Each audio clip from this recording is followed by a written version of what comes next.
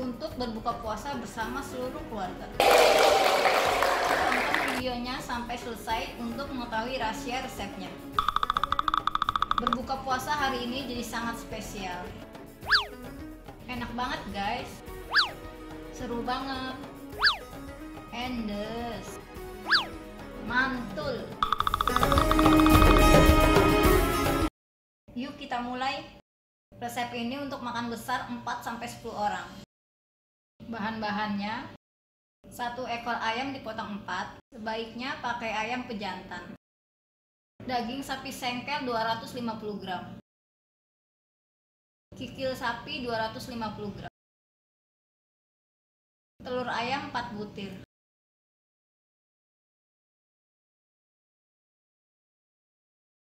Nangka muda seperempat.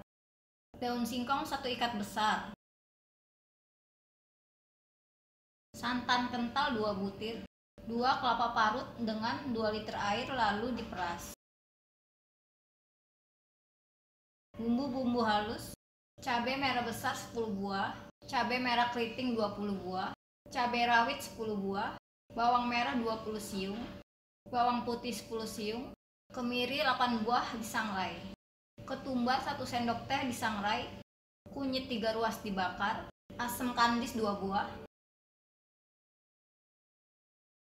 daun salam 3 lembar, daun jeruk 5 lembar, daun kunyit 2 lembar diikat, garam 2 sendok makan, micin 1 sendok makan, lada 1 sendok teh, gula 2 sendok makan, minyak untuk menumis secukupnya. Cara membuatnya, kikil direbus sampai empuk atau di presto. Kikil dipotong besar-besar.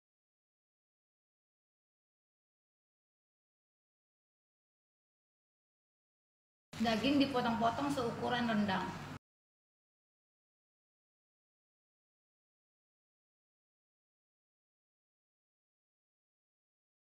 Telur direbus sampai matang dan dikupas kulitnya.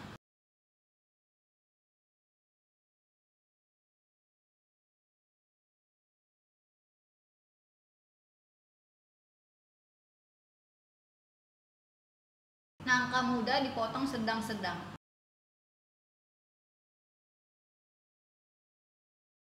Nangka muda direbus sampai empuk.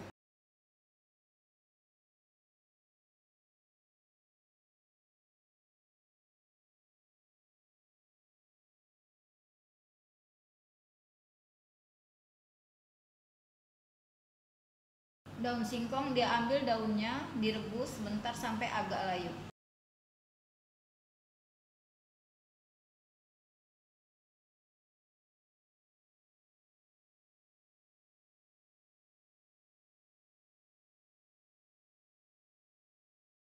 Daun singkong diperas airnya dan dipotong-potong.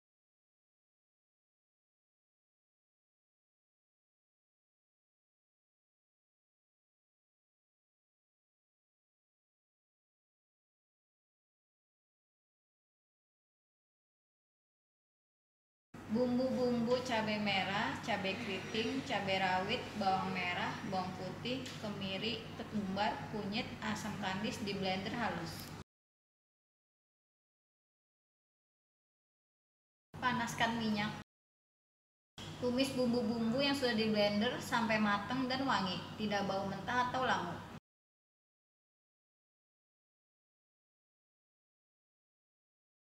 Masak santan sampai mendidih sambil diaduk jangan sampai pecah.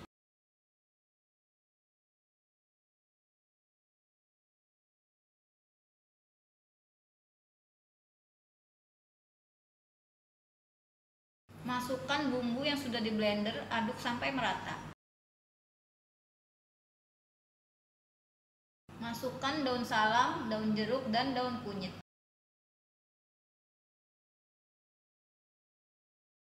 Masukkan daging sapinya sambil diaduk-aduk sampai agak empuk. Masukkan kikilnya sambil terus diaduk. Masukkan ayamnya sambil terus diaduk. Tunggu sampai ayamnya matang dan empuk.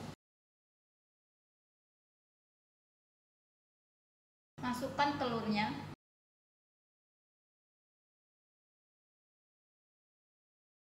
Masukkan nangka mudanya, aduk sampai merata. Aduk terus perlahan-lahan sampai kuah santannya mengental dengan api kecil.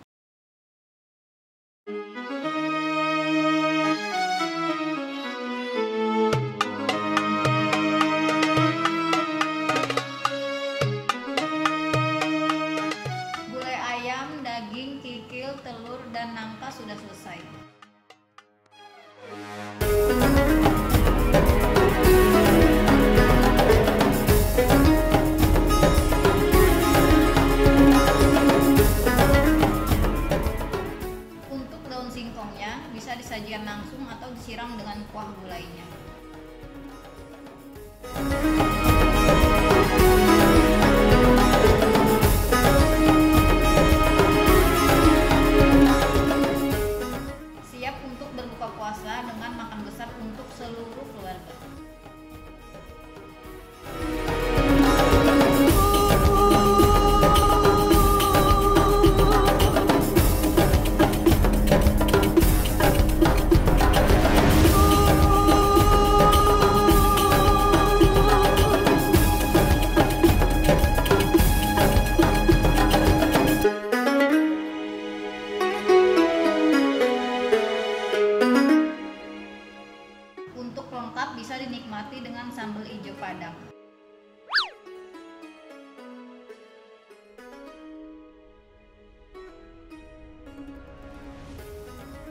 Banget guys. Seru banget. Endes. Mantul. Buka puasa kali ini istimewa banget. Menunya lengkap dan nikmat. Jadi pilihan untuk menu malam takbiran. Selamat mencoba.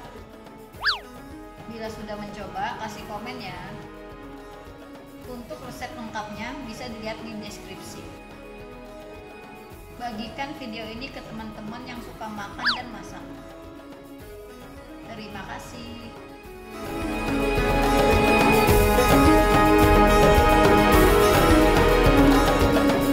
Happy guys.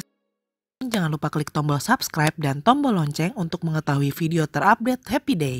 Terima kasih sudah nonton video ini. Jangan lupa like dan share video ini dan tunggu video-video kita selanjutnya.